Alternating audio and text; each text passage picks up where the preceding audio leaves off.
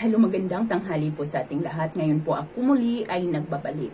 At ngayon po, isa na namang ritual ang ating ituturo sa inyo. Ito ay upang hindi mag mapakali ang taong iyong napupusuan, ang taong iyong mahal na nang iwan sa'yo or ang taong lihim mong iniibig. Kahit pagaano siya kalayo sa'yo, kahit 1,000 miles away pa siya sa'yo, ay magpaparamdam at magpaparamdam siya kaagad sa'yo na pag ginawa mo ito. Siyempre, ang lagi nating unang sinasabi, dapat kapag ginawa natin ito ay mayroon tayong buong tiwala sa ating ginagawa. Ikiklaim natin sa ating sarili na ang ating ginagawa ay mangyayari. Ngunit may oras po lamang sa paggawa nito. May oras at araw po lamang sa paggawa nito. Ang paggawa po lamang ng ritual na ito ay Sabado po lamang, Sabado lamang, araw lamang ng Sabado ng alas 10.20 ng gabi. Alas 10.20 ng gabi, araw po ng Sabado, doon lamang po ito maaari nating gawin. Ngayon, ano po ba ang ating kailangan sa ating ritual na ito?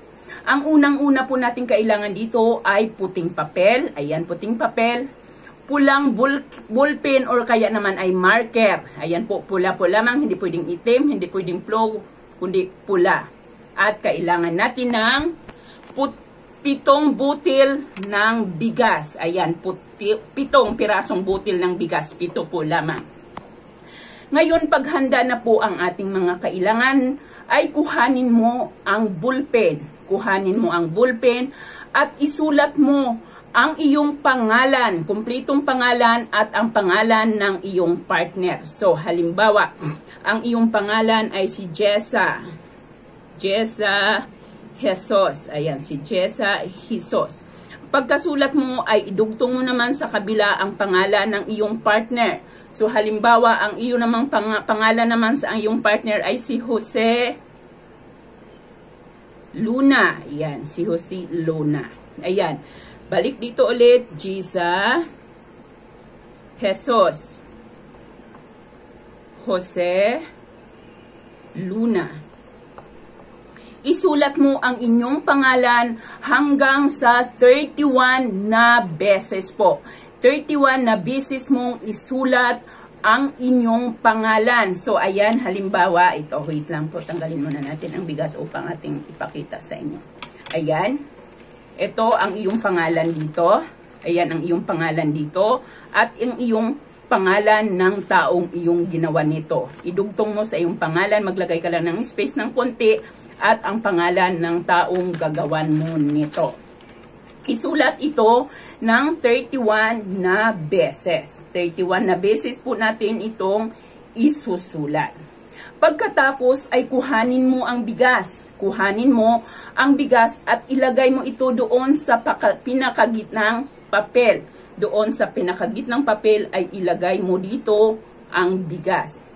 Pagkatapos mo mailagay ang bigas, ay itupi mo ang ating papel. Itupi mo ang ating papel. Papasok po sa atin, pagka gumawa tayo ng mga kahilingan, ay um, kahilingan sa pag-ibig or mga um, uh, ritual pampaswerte ay papasok ito sa atin dahil tayo ay humiling na uh, mapaibig natin siya. Maliban na lang pagka tayo ay nais nating makapagbayad sa mga utang ay palabas po yun.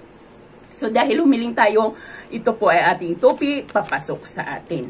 So ayan. 1 2 3 Ayan. Topi po natin ang ating papel. 1 2 natin. Ayan. Pagkatapos mo itong maitupi, ay ating i ilalagay natin ang ating ang papel na ito at saka mo tawag nito at saka mo ikulong ito sa iyong mga palad. Ganyan. Pagkatapos mong itupi ito ay gawin mo ito at saka mo ito um, ikulong sa iyong mga palad habang binibigkas mo ang ating dasal. Ang ating dasal ay babanggitin mo ito ng 101, 111 na beses. 111 na beses kailangan ay hindi ka magkamali sa pagbilang ang pag ang bilang ng ating dasal ay isang daan at labing isang beses. Isang daan at labing isang beses po habang ang iyong kamay ay nakalagay dito. Narito po ang ating dasal. Totro metra, gula remba, tukro kemba, nula, pitara, domo, shoy. Muli, ilalagay ko rin po ito sa ating description box upang hindi kayo ma malito. Totro metra, gula remba, tukro kemba, nula, pitara, domo, shoy. Ayan po, 101 na beses po natin iyong bibigkasin. Pagkatapos mo pong mabigkas iyon, pagkatapos mong mabigas ng 101 na beses, ay tanggalin mo ang isang kamay at saka mo naman ito hipan ang papel ng isang daan at labing isang beses din. 100, 111 na beses din itong hihipan. Hihipan mo din ang papel ng isang daan at labing isang beses. Pagkatapos po nito ay ano ang gagawin natin sa papel? Ano po ang gagawin natin sa papel? Ang gagawin mo sa papel ay sunogin mo ito. Sunogin mo ito kung ikaw ay malapit lamang. Kung ikaw ay malapit lamang sa bahay nang ginawan mo ng ritual na ito ay ang abo ay isaboy mo sa kanyang tirahan kung saan siya malapit nakatira. Ngunit kung kayo naman ay long distance relationship, ang abo nito ay hayaan mo lamang na liparin ng hangin. Muling paalala, gagawin po ito ng Sabado ng 10.20 ng gabi.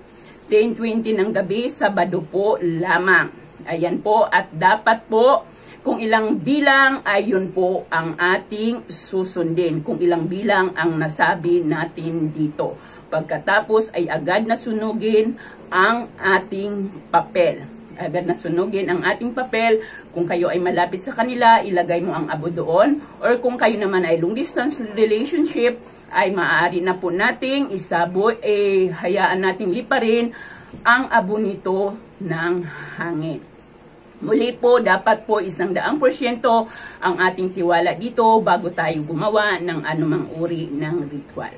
Ayun po lamang maraming maraming salamat at magandang tanghali sa ating lahat. Sa may mga katanungan, ay i-follow nyo po lamang ang aking Facebook page na Pinay sa Club. At doon po kayo magtanong sa akin, huwag po kayong mag-alala dahil wala po kayong babayaran ng kahit na piso. Maraming maraming salamat po.